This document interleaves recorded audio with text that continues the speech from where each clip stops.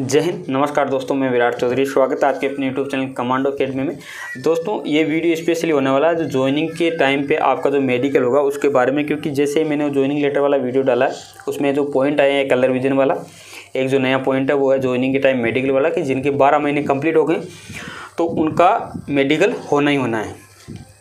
तो उसमें साफ़ साफ़ लिखा हुआ कि हर एक आई टी वाले में भी वो था सी वाले में भी है B S F C S F Assam rifle यानी इनमें है तो उन सभी ज्वाइनिंग लेटरों में ये कंडीशन ज़रूर डाली हुई आएगी, ये पॉइंट ज़रूर डाला हुआ तो इसे रीमेडिकल वालों को ऐसा लग रहा है उनका नहीं होगा, लेकिन हो सकता है आप भी तैयार रहना उसमें ऐसा लिखा हुआ है कि जो बारह महीने पहले जो फिट हो चुके हैं, अगर उनको बारह महीने से ज़्यादा टाइम हो गया तो उनका मेडिकल हो सक, हो सकता है किसी भी बीमारी का उनका मेडिकल हो सकता है। ये नहीं कि उनका संपूर्ण मेडिकल होगा, ऐसा नहीं लिखा हुआ।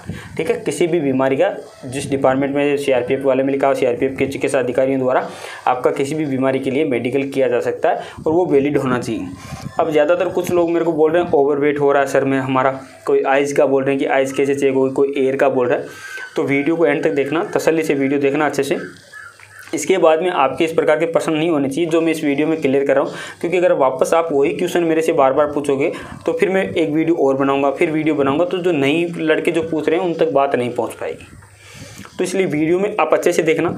आपकी जो प्रॉब्लम है, सारी प्रॉब्लम मैं इस वीडियो में लूँगा मेडिकल से संबंधित। ये पूरा का पूरा वीडियो आपकी ज्वाइनिंग के मेडिकल पर है। इसको देखने के बाद में आपको क्लियर हो जाना चाहिए कि क्या तो होगा, क्या नहीं होगा। और जो मैं बताता आया, पहले भी मैंने आपको बताया था हंड्रेड परसेंट कभी मैं झूठा तला दिलासा दिलाता नहीं कभी किसी को, ना मैंने आज तक दिलाया। पंद्रह फरवरी के आसपास आपकी ज्वाइनिंग बताई थी, तेरह फरवरी की हुई है और ज्वाइनिंग आ गई है। क्योंकि बात आपको सही बताऊँगा हंड्रेड परसेंट उसमें कहीं पर भी आपको शक नहीं रहेगा। ठीक है? तो इसलिए वीडियो को एंड तक तसली से देखना। अब सबसे पहले बात करते हैं, उसमें जो पॉइंट आए हैं, ये दो पॉइंट मोस्ट इंपॉर्टेंट ठीक है?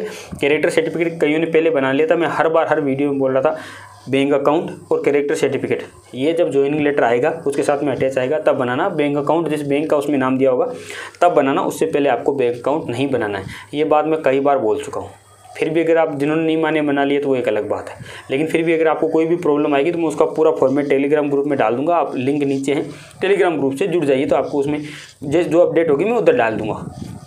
अब बात करते हैं दोस्तों, सबसे पहले कि जो मेडिकल में एक तो ओवरवेट वाला हो गया, एक कलर विजन का बार बार बोल रहे हैं, एक आइट साइड का बोल रहे हैं एयर का बोल रहे हैं, और बोल रहे हैं कि संपूर्ण मेडिकल होगा। सबसे पहले जिनका ओवर वेट हो गया है जिसका चार पाँच किलो आठ दस किलो अगर ओवर वेट हो गया, कहीं दस किलो, मैंने मैसेज पढ़ा, एक लिखा हुआ था कि, सर, मेरा दस किलो ओवर वेट हो गया। नीचे किसी दोस्त ने कमेंट किया है कि, फिर और खाओ।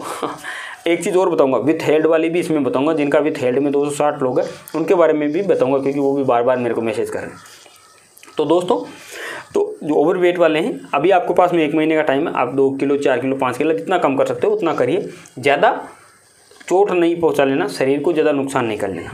ठीक है? एक दो किलो होगा तो एडजस्ट हो जाएगा, उसमें कोई टेंशन नहीं, एक दो किलो, दो, चार किलो तक एडजस्ट हो जाएगा, उसमें टेंशन लेने की ज़रूरत नहीं, ये आपको मैं अंदर की बात बता रहा हूँ, ठीक है? लेकिन आप कम कर लेना जितना हो सके, क्योंकि एक दो किलो के लिए आप वहाँ पर चिकित्सा अधिकारी भी आपको छूट देंगे कि चलो कोई बात नहीं, इतना टाइम हो गया है। और एक दो किलो के लिए एडजस्ट हो जाता है कि हाँ चलो यहाँ रनिंग वनिंग करेंगे तो एडजस्ट हो जाएगा। ओवर वेट वाला पॉइंट कोई टेंशन लेने वाली पॉइंट नहीं है, इसके लिए आपको चिंतित होना नहीं है। लेकिन फिर भी आपको ओवर वेट है तो कम करने की कोशिश करना, एक महीने का टाइम है। कम कैसे करना, इसके लिए भी मैं बता रहा हूँ आपको। देखो, सुबह सुबह रनिंग करना है, ठीक है? रनिंग सुबह शाम शुरू कर दीजिए, हल्की हल्की रनिंग करिए खुद के शरीर को नुकसान नहीं पहुँचाना, रोड पे ज़्यादा नहीं दौड़ना ग्राउंड में दौड़ना और हल्के कदम से दौड़ना। साथ में आपको क्या करना है ग्रीन टी मंगा लेना, ग्रीन टी लेना, उसमें हनी के साथ में ग्रीन टी लेना, ठीक है? यानी शहद के साथ में ग्रीन टी लोगे, आपका वेट जल्दी कंट्रोल में हो जाएगा, कम वेट हो जाएगा। तो उसमें आपको चिंता करने की ज़रूरत नहीं तो ओवर वेट वाले मेरे दोस्त चिंता ना करें, ठीक है? मैं सीधा बोल रहा हूँ, उनको चिंता ना करें, जितना कम कर सकते हो, उतना कम करें। यानी आप जितना कर सकते हो, उतना कर लेना, कम, ठीक है? फिर नहीं होता तो कोई चिंता करने की ज़रूरत नहीं, आपको निष्कासित करके बाहर नहीं भेजेंगे। लेकिन फिर भी वही बात है, मैं एक बात हमेशा बोलता हूँ कि आप जो कर सकते हो, वो आपको करना है। फिर उसके बाद में छोड़ देना। जितना आप कर सकते हो तो इसका मतलब है कि आप जितना कर सकते हो कोशिश, उतनी आप कोशिश करना कम हो जाएगा। ठीक है? कम हो जाएगा। पाँच छः किलो तो मुझे पता आप कम कर कि दो चार किलो में एडजस्ट हो जाएगा, जिसके चार पाँच किलो वो तो कम हो जाएगा।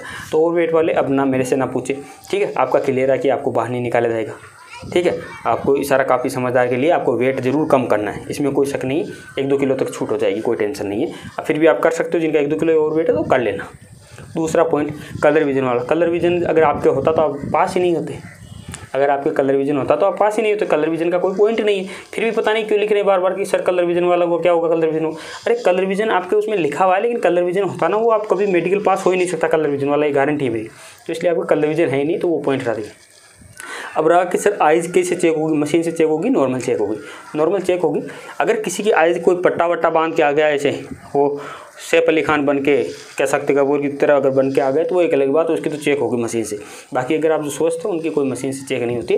नॉर्मली तौर पर आपकी बस कुछ नहीं होगा, नॉर्मल तौर पर ऐसे देखी जाएगी तो मशीन से चेक नहीं होगी और आइज़ में आपके प्रॉब्लम नहीं है। ठीक है? जो मेडिकल फिट हो गया, चाहे मेडिकल में फिट हुआ, उसको भी। उसके बाद में कान कि सर मशीन से चेक होंगे। आपको कानों की फिर अगर आपने सफ़ाई करवाई थी मेडिकल समय तो फिर से सफ़ाई करवाने की ज़रूरत नहीं, लेकिन फिर भी हल्का फुल्का अगर आप साफ़ करते हो तो अच्छी बात है तो कान को अगर साफ़ करते हो, बाकी मशीनों से चेक नहीं होंगे, उसकी चिंता ना करें। कि पूरा का पूरा संपूर्ण मेडिकल नहीं होगा, उसकी चिंता ना करें। फिर भी अगर आप साफ़ करवाना चाहो तो उसमें कोई प्रॉब्लम है नहीं पचास सौ रुपये खर्चा आप साफ़ करवा लेना। ठीक है, बाकी सरसरी तौर पर ही मेडिकल होगा, मेडिकल सभी का नहीं होगा, कुछ कैंडिडेट ऐसे होंगे जिनको प्रॉब्लम हुई होगी। अब इसमें एक चीज़ और आती, कुछ बोलते सर, नोक नहीं। नौकरी में मेरे को पॉइंट मिला था। तो जो पॉइंट मिला था क्लियर हो गया, वो वापस उसमें नौकरी वाला आपको टेंशन लेने की ज़रूरत ही नहीं। है जैसे हाथ का हैंड का आइज़ का, इनका तो टेंशन लेने की ज़रूरत नहीं। टेंशन उनको हो सकती है जो चोट खा के कहीं फ्रैक्चर आ गया है, या कुछ प्रॉब्लम हो गई, कोई बीमारी हो गई, उनको चिंता करने की ज़रूरत। आपको तो चिंता करने की ज़रूरत नहीं है, अगर नोकनी है तो वो तो उनको उसी समय दिख गया ना भाई, इसका नोकनी कैसा है? हाथों में कहीं ऐसे हाथ है या बैंड है, वो मेडिकल फिट इसका मतलब फिट है। ठीक है? तो उसको तो चिंता करने की बिल्कुल एक परसेंट की ज़रूरत नहीं है। तो ये तो आप बिल्कुल घबराने की ज़रूरत नहीं है, वो पॉइंट ज़रूर लिखा हुआ लेकिन उसके लिए आपको चिंतित नहीं होना। अब कुछ ये भी कम बोल रहे हैं कि सर सभी में होगा तो सभी डिपार्टमेंट में हो सकता है, और हंड्रेड परसेंट मैं बोल रहा हूँ, आपको ये बात आप ध्यान से सुन लीजिए कि हंड्रेड परसेंट आपका मेडिकल पूरा जैसे हुआ था, वैसे नहीं होगा। बस अगर कोई बीमार पाया जाएगा तो उसका किया जाएगा, या किसी कारणवश वो बीमार होता है या कोरोना की वजह से इस बार किया जाता है सरसरी तौर पर किया जाएगा। तो जो मैं बता रहा हूँ, ये पॉइंटों में प्रॉब्लम नहीं होगी आपको। ठीक है? अगर आपकी आई उस समय चेक होगी तो वो चेक है उसके अलावा और कोई चेक नहीं। हाँ वो वैलिड नहीं माना जाता, लेकिन उतना डेंजरस वापस से मेडिकल नहीं होता और मेडिकल में अनफिट नहीं किया जाएगा, ये भी आप मान के चलिए। हाँ अगर किसी को कोई प्रॉब्लम है तो उसको समय दिया जाएगा, ठीक है? उसको टाइम दिया जाएगा कि चलो इतने दिनों में आप ये तैयार कर लीजिए। तो ये टाइम दिया जाएगा, इसलिए आपको ज़्यादा चिंतित होने की ज़रूरत नहीं है। ओवर वेट वाले आप वेट ज़रूर कम कर लीजिए। मेरी तरफ़ से आप मान लीजिए आपको वेट कम करना है, वेट कम करने का तरीका भी मैं बता दिया हूँ। और भी आप एक्सरसाइज करिए, पेट की, वेट की, थोड़ा खाना वाना, शाम का खाना कम कर दीजिए, वो हो जाएगा। इसके अलावा जैसे Assam rifle B S F I T B P इनके कईयों के भी ज्वाइनिंग लेटर नहीं आए हैं तो इनके भी मैं बोल रहा हूँ, बीस तारीख आप मान के चलिए, बीस तारीख के आसपास आपके ज्वाइनिंग लेटर आ जाएँगे, बीस तारीख के आसपास आपके सभी के ज्वाइनिंग लेटर आप सभी के हाथ में होंगे। उसके बाद में एक महीने बाद की आपकी ज्वाइनिंग कईयों की पंद्रह मार्च की, कईयों की सोलह की, कईयों की बीस मार्च की ज्वाइनिंग होने वाली है। तो जिसकी जिस डेट को ज्वाइनिंग होगी उतना आपको टाइम मिल जाएगा उसमें बैंक अकाउंट खोल लेना करेक्टर सर्टिफिकेट कैसे बनाना, उसका मैंने वीडियो बना दिया। वो आप जाके देख लीजिए। करेक्टर सर्टिफिकेट कैसे बनाना, वो नॉर्मल सा उसमें लगा हुआ अटैच है। वो कैसे कैसे बनाना है, और उसके बारे में अगर फिर भी आपको प्रॉब्लम रहे तो मैं उसका भी पूरा एक बार फिर से वीडियो बना दूँगा। डॉक्यूमेंट्स कैसे कैसे तैयार करना उसका एक वीडियो और बना दूँगा, उसमें कोई चिंता नहीं। तो उनका भी मेडिकल होगा। इस प्रकार से मेडिकल होगा। ज़्यादा घबराने की ज़रूरत नहीं है, ज़्यादा टेंशन लेने की ज़रूरत नहीं है कि आप मतलब टेंशन में आके अपने आप को बीमार कर लो। बीमार नहीं होना, बिल्कुल माइंड फ्री रहिए, कोई प्रॉब्लम नहीं है, आप मेडिकल फिट हो, इसका मतलब आप मेडिकल फिट हो, एक बारह महीने में आप में कोई मेडिकल बीमारी थोड़ा ना आ गई है, अगर किसी की कोई हो गई है टूट फाट तो उसको भी चिंता करने की ज़रूरत नहीं। अब बात एक विथ हेल्ड वालों की बता देता हूँ, सामने आ गई बात तो नहीं, भूल जाऊँगा मैं। विथ हेल्ड वालों का फिर से आपको ऐसे ऐसे कनेक्ट करेगी, आपको नोटिफिकेशन आएगा, आपका कोई कॉल लेटर आएगा, जिस चीज़ में प्रॉब्लम हो, उसकी वापस इंक्वायरी होगी, जैसे अगर फिंगरप्रिंट्स में तो उसकी होगी, अगर मेडिकल में कुछ हुआ तो उसकी होगी फिर वालों का ये होगा, उनको स्टाफ सिलेक्शन कमीशन वापस से कनेक्ट करेगी।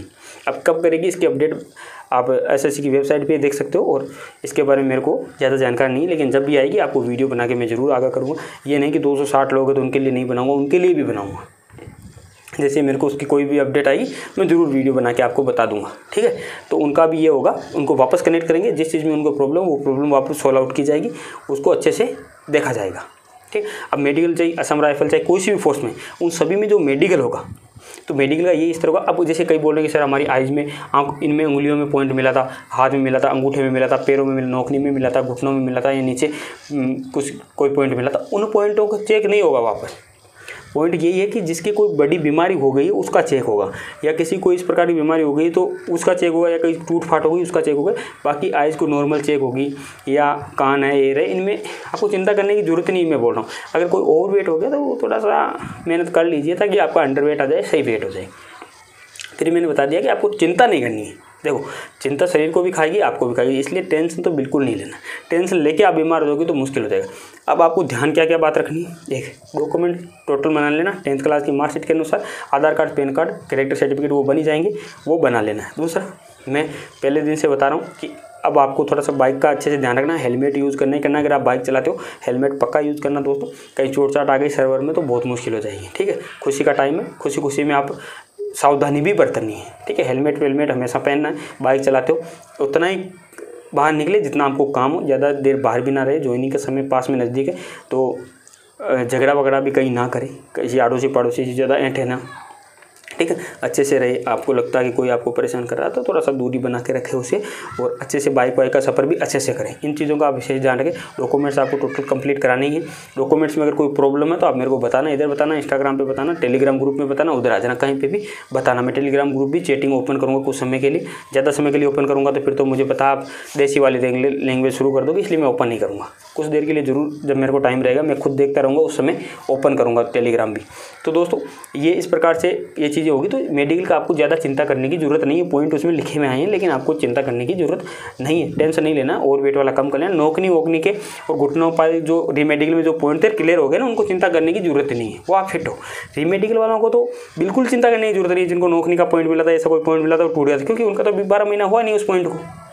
तो वो तो चेक होने का ज़रूरत नहीं, वो तो सर्टिफिकेट है आपके पास में हंड्रेड परसेंट सर्टिफिकेट है, उसमें तो कोई चिंता करने की ज़रूरत नहीं। और नॉर्मल सा साधारण सा मेडिकल होगा, इसलिए आपको चिंता नहीं करना है। बिल्कुल फ्रेश रहिए कोई मेडिकली अनफिट नहीं होगा और किसी को घर नहीं भेजेंगे घर तो किसी को नहीं भेजेगा, अगर कोई हो भी जाता है, किसी बीमारी की वजह से कुछ कारणवश तो उसको समय दिया जाएगा ठीक करने का। और ऐसा लगता है कि ठीक हो जाएगी, एक दो महीने में तो आपकी ज्वाइनिंग भी एक्सेप्ट कर ली जाएगी और ज्वाइनिंग करा के वहाँ पर रखा भी जाएगा। अब एक पॉइंट और आता है कि सर ज्वाइनिंग लेट करा लिया। दोस्तों, जिस ग्रुप सेंटर में आपकी ज्वाइनिंग आती है, मैं बोलता हूँ, वहाँ पर पाँच दस दिन पहले जाके वहाँ पर बात करिए, वहाँ के डीआईजी मोदी से आप मिलिए, वहाँ के सीओ जो मोदी हैं कमांडेंट मोदी उनसे मिलिए और उनसे वार्तालाप करिए कि सर ऐसी ऐसी प्रॉब्लम कुछ लोग बोल रहे हैं, मेरी अप्रैल में शादी है तो शादी ज़्यादा इंपॉर्टेंट नहीं है मेरे ख्याल से जॉब ज़्यादा इंपॉर्टेंट है ट्रेनिंग के बीच में जब छुट्टियाँ हो तब कर लेना शादी। शादी करके क्या करोगे जब ट्रेनिंग में जाओगे? हैं? यहाँ फिर वो गाने चलाएगी बीवी, कब आओगे परदेसी बालम तो उससे क्या मतलब है? हैं? बालम पे तो थोड़े से दिन बालम बाद में बन जाना, पहले जॉब कर लो। तो इसलिए शादी के लिए परेशान हो रहे हो। अगर वो तो मिल जाएगी, आपकी ज्वाइनिंग लेट हो जाएगी। ट्रेनिंग सेंटर में आप जहाँ ग्रुप सेंटर में ज्वाइन करोगे, वहाँ पर ज्वाइनिंग करने के बाद में ट्रेनिंग सेंटर में आप अपनी ट्रेनिंग लेट करा सकते हो। उसमें कोई शक नहीं है। आप मिलकर उनको बोल सकते हो कि मैं अभी ट्रेनिंग नहीं करना चाहता। मेरे घर में ऐसी ऐसी प्रॉब्लम या मेरे को ऐसी ऐसी प्रॉब्लम है तो वो हो जाता है। लेकिन आप इस पूरे बेच के साथ जब ट्रेनिंग करोगे ना, उसमें पता नहीं चलेगा ट्रेनिंग कैसे होगी। छोटे बेच में ट्रेनिंग करोगे तो पता चलेगा ट्रेनिंग कैसे होती है। बड़े बेच में क्या है, पता नहीं चलता। आठ सौ, नौ सौ, हज़ार का बेच चलता है, बड़ा बेच चलता है तो दिन का पता ही नहीं चलता, इतने बच्चे एक साथ करते रहते हर एक काम तो पता नहीं चलता।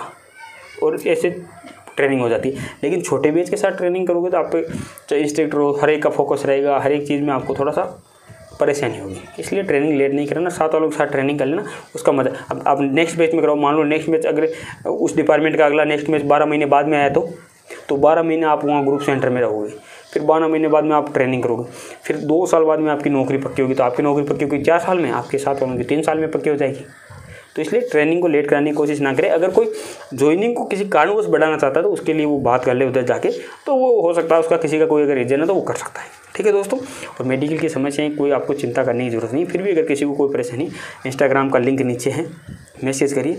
रिप्लाई देने में थोड़ा सा मैं पहले बता रहा हूँ लेट हो जाऊँगा। और मेरे से नंबर का ना बोले। बार बार कि सर आपके नंबर दो, आपके नंबर दो। भाई, मैं कितनों को कॉल पे बात करूँगा, आप खुद सोचिए। कितने से कॉल पे बात कर सकता मैं नहीं कर सकता इतने से कॉल पे बात। मैसेज में तो ऐसा है कि मैं रात को बारह बजे भी फ्री हूँ तो मैसेज का रिप्लाई करता हूँ। इसलिए मैं सभी से कॉल पे बात कर पाना बहुत ही मुश्किल है, इसलिए मेरे से नंबर की रिक्वेस्ट कम ही करें।